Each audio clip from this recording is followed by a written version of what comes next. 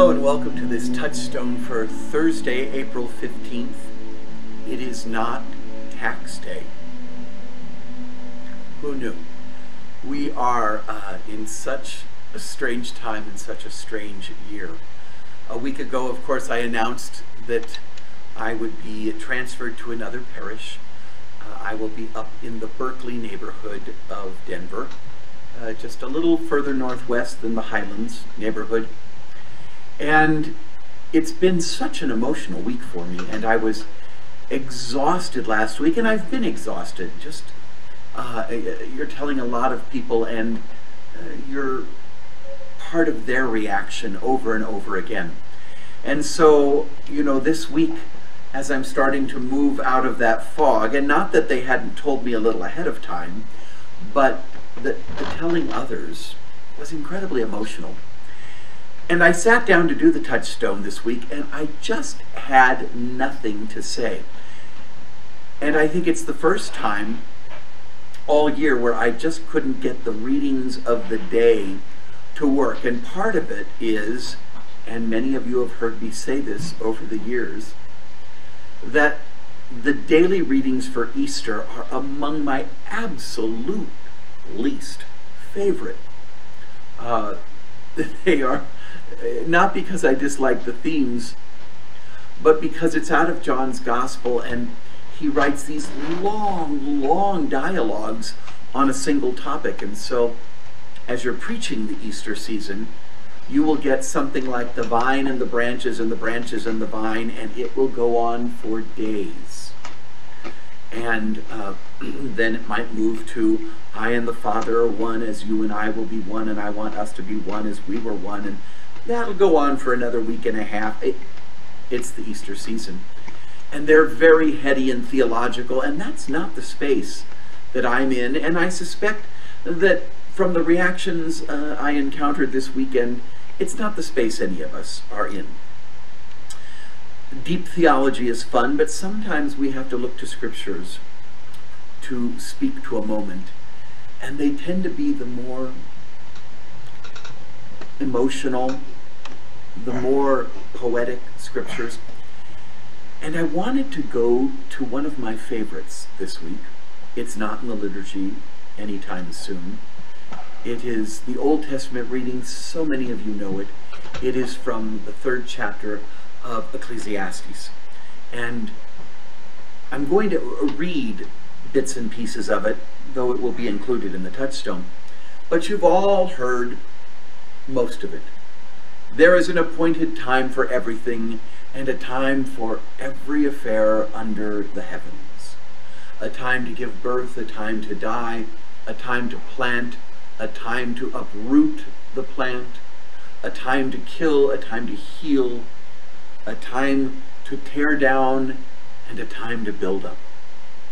A time to weep, a time to laugh, a time to mourn, and a time to dance. A time to scatter stones and a time to gather them. And something we learned this year during COVID. A time to embrace and a time to be far from embraces. Most of these couplets are something we like, something we don't, something we don't, something we like, back and forth. And I think we sometimes get into that older theology that God is somehow uh, scheduling the world and there's no free will. He scheduled, you know, this is the year to be far from embraces and maybe next year will be a year for embracing. And I don't think that's what it's really saying. I think it's still absolutely a hymn to free will. And it reminds us that God can be found in all of those times. That the time to mourn, the time to scatter stones, the time to be far from embraces, all those times that we see as negative, a time to tear down. It's not that God plans them. It's that God has seen the world coming since he created it. When we are in a time that we would call crisis, that we would call tragic, it is not an indication that the world and the universe are spinning off its hinges and God is no longer in control. This amazing passage from Ecclesiastes reminds us that there is a time for all things. And God has planned time for all things. And in these moments of transition when we think, where is God? I, I have to wonder, do, do we think God is only, only the God of easy times? God is only the God of enjoyment? God is only the God of the status quo?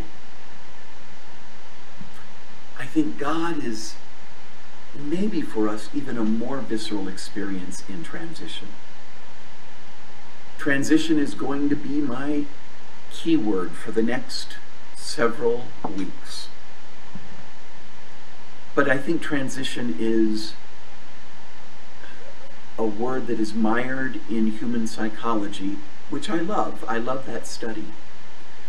But I want to move myself towards the word of Scripture transfiguration,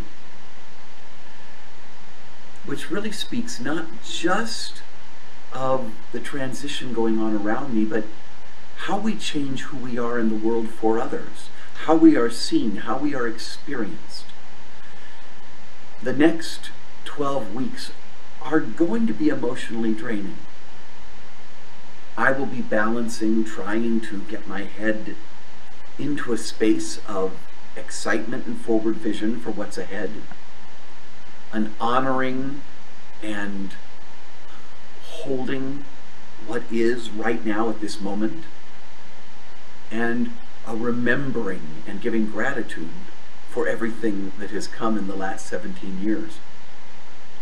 That's a lot of transition, hopefully at least a little transfiguration. I would ask that as we all move forward in the next 12 weeks, that we try to name this time. If you get a chance to go through this third chapter of Ecclesiastes, you know, what is this? Is this a time to build? Is it a time to heal? Is it feeling like a time to rend that's going to mean we have a time of sowing ahead of us? Is it a time to sit in silence? Some of that time will need silence. Is it a time to speak and to share? Is it a time of peace? Is it a time of war? I, I would hate to think that. But these first, especially these first eight verses, play with it. Come up with phrases that aren't there. Is it, you know, a time to deepen connections? Is it a time to change? Is it a, a time to look around and evaluate? The eight verses that we love from Ecclesiastes are not exhaustive. I think as a community, we need to write many other verses and name this time. Name this transition. Name this year of COVID. Name what's coming ahead in our Hebrew roots of Christianity, there is such power given to the Word. There is such power given to the stories we tell. There is such power given to the narrative we embrace. How will we name this time? So this week I want you to sit with that. I'm actually choosing a piece of music that has almost no lyric presence. It's not quite that verbal. You know, it's more of a meditation.